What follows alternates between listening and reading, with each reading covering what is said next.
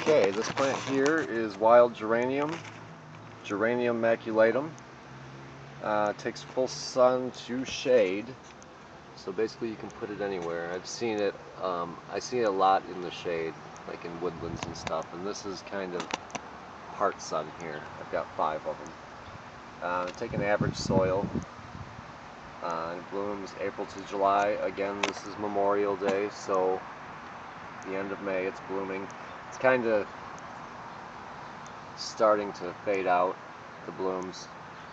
Um, but it's a host plant for the leaf mining moth and the white-marked tussock moth.